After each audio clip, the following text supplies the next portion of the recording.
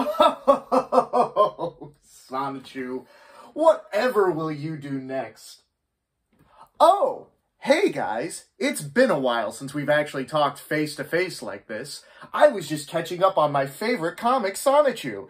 But unfortunately, a lot of people got some pretty bad news today uh, involving its creator, Chris Chan. Now, I'm sure everybody's heard the news, you know, about Chris and his mom and what they did together. Or more accurately, what Chris did to her. But a lot of people are still like, well, this is finally the time. Chris is finally going to be held accountable for his actions. You know, not like when he pepper sprayed that GameStop employee, or threatened to rape his friend Megan, or ran that guy over with a car, or I'm sure there was other stuff. There, there was a lot of other stuff of uh, crimes that Chris has committed. But basically, he's gotten let off every time. And unfortunately, it looks like this might be no exception. You see, Chris's lawyer had just put forth a motion to try and dismiss the charges due to Chris's autism.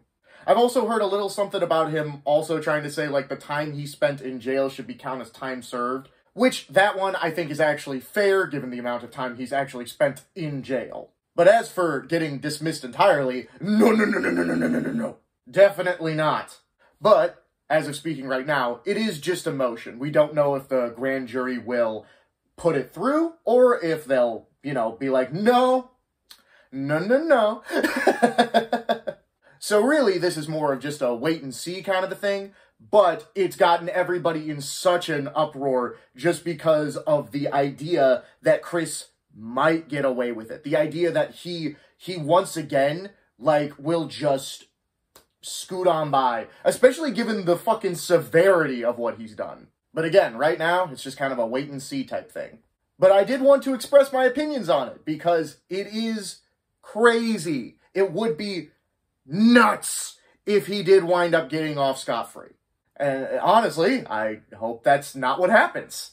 But we'll just have to wait and see what happens. So, guys, let me know what you think about this update down in the comments. I'm Patrick, and I have to get back to my favorite comic.